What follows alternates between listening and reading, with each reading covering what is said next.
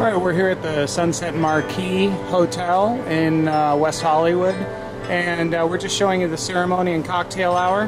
This will be the ceremony area, and when guests are done, uh, the cocktail bar will just be right back here in the corner, and we've got some high top tables. And then uh, once they're finished, everyone will just head right down this way to the pool area where um, the reception will take place.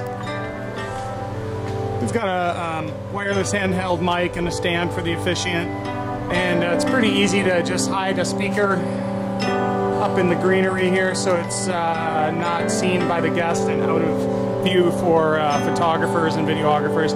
And then we've just got a table set up with a mixer and laptop, and we always bring a backup iPod. So we have two ways to play music and a backup microphone as well. In all love and honor, all duty and service, all faith and tenderness, to live with her and cherish her as long as you both shall live. So that's pretty much it. Uh, that's the ceremony and also uh, cocktail hour, the Sunset Marquis, West Hollywood. And uh, next we'll take you down and show you the reception area.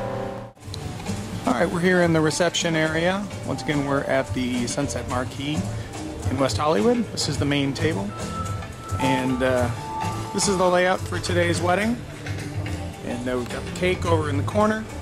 And uh, for point of reference, guests will have uh, come down from the ceremony area.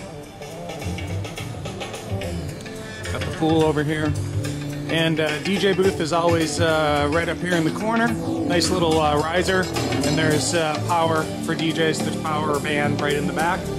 And uh, bar up in the corner. That's pretty much it. It's a nice, uh, intimate little setup.